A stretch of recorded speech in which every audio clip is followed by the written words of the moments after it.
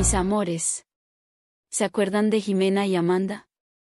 Bueno, llegó la Navidad antes de tiempo con la tercera temporada de la hermosa historia de amor entre Jimena y Amanda, exponiéndose a su gran romance entre toda violencia, drogas y corrupción en entrevías. ¿Que nos casamos? ¡Qué locura! ¡Nos casamos! Recordemos aquella borrachera que provocó que Jimena fuera arrestada y llevada a la comisaría donde trabaja Amanda. Les dejo la tarjetita para que vean el resumen completo. En resumen, en la última temporada, Jimena se divorció, salió del armario, se enamoró de Amanda, y decidieron darse una oportunidad. Aunque ahora están separadas por rejas, no impide el amor, cariñitos, vis a vis e incluso una boda en esta nueva temporada. Dios mío, ¿qué ha pasado? Les cuento la historia. Después de que Amanda arriesgara todo para encontrar al asesino de su padre, uno de los corruptos más sucios en Entrevías y alrededor de España, y jefe de Jimena, responsable de muchas drogas y abusos de menores. Y después de durar tantos años en perseguirlo. Amanda, no puedes controlarlo todo. Pero es que esto sí podría haberlo evitado, Jimena. Lo vi venir, sabía que era peligroso. Amanda no lo pensó dos veces y decidió matarlo, poniendo fin a su carrera como policía, ya que la metieron en la cárcel.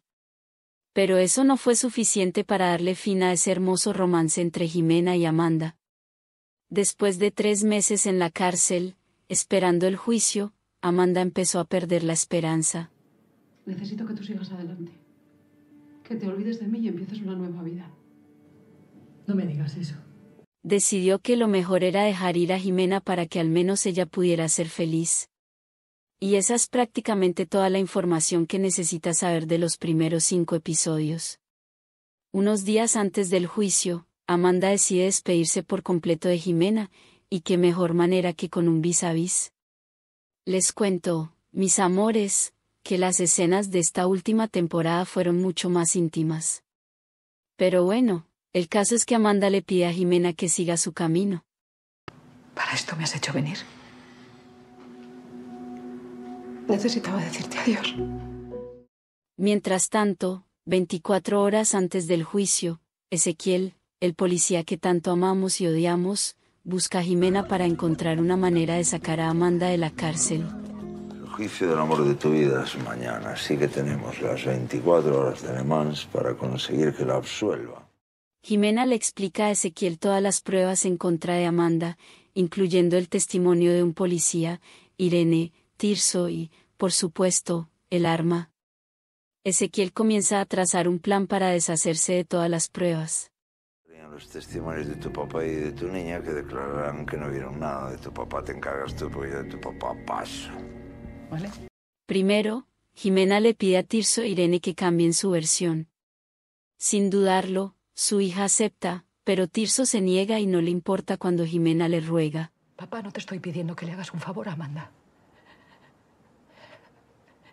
Te pido que me lo hagas a mí. Él dice que no cuenten con él. Conmigo no cuentes.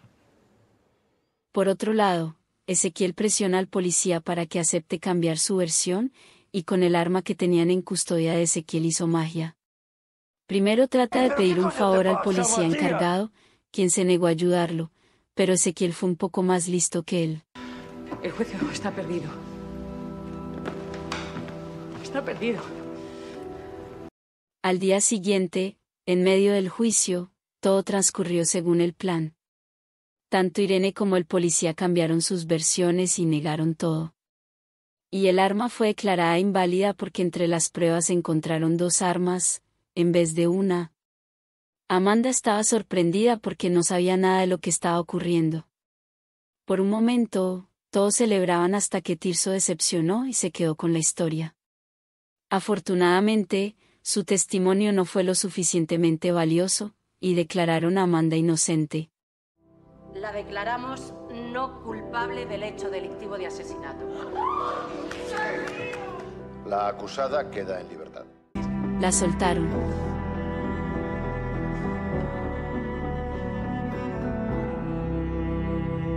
Ya fuera, le pidieron a Amanda que volviera a la comisaría, mientras Jimena ayudaba a su madre, Mari Carmen, quien después de años de estar desaparecida y haber abandonado a su familia, ella decide volver a Entrevías a recuperar su familia y formar una fundación para reformar a los menores de barrios y sacarlos de las drogas.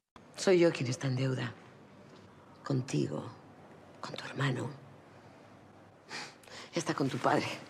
Irene, que tenía planes de casarse con Nelson, cambió de parecer en el último momento. Así que en lugar de cancelar los planes, Jimena propuso aprovecharlos y casarse con Amanda. ¿Me estás proponiendo matrimonio? No, no, no, que va, no. Lo decía para aprovechar lo que, lo que hay preparado. Así que se lo pidió, y decidieron casarse. Todos estaban invitados, menos Tirso. Bueno, cuéntame, ¿qué dijo tu padre cuando se lo dijiste? Ah, no se lo he contado. Además, no está invitado. En el día de la boda, surgen planes no previstos. Despidieron al corrupto jefe de Amanda, Romero, y la ascendieron a su antiguo puesto.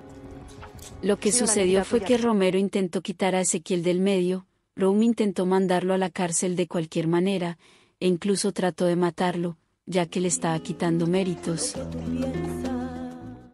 Romero llegó al punto de pedirle a la sobrina que lo matara, pero Ezequiel siempre estaba dos pasos adelante. Se supone que te casas en cinco minutos. Hostia, la boda. ¿Te casas hoy? No, puedes ir tranquila. En la boda, después de un par de golpes, Amanda y Jimena se casaron, Me van las tipas duras. Os declaro unidas en matrimonio. Podéis besaros.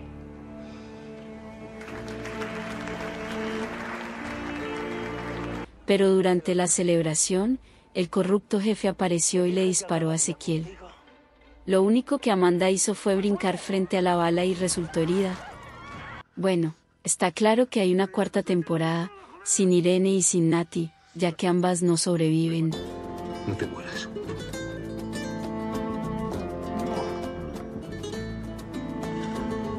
Al menos, Nati es reemplazada por Dulce, una chica guapa que también disfruta de las relaciones con otras chicas.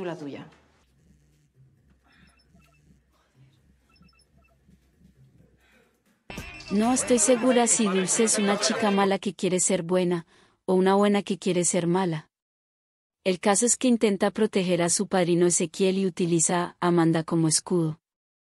En general, la serie continúa con las drogas, violencia, corrupción, pandillas y romance, especialmente entre personas de la tercera edad.